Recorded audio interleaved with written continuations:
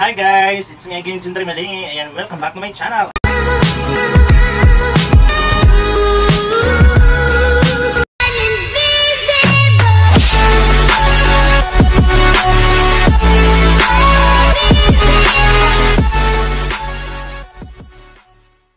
Alright guys, so uh, today's vlog guys, uh, tuturuan ko kayo kung paano mag uh, giling ng ano, um, bawang at saka sibuyas. Yung sibuyas, Bombay. Ayan, para po ito sa ano guys, para po ito sa uh, i-mix sa pag ano, sa pag-marinate na sa lechon manok. Yan ito kasi po ang um, uh, ginagamit namin guys sa pag ano, sa pag-marinate.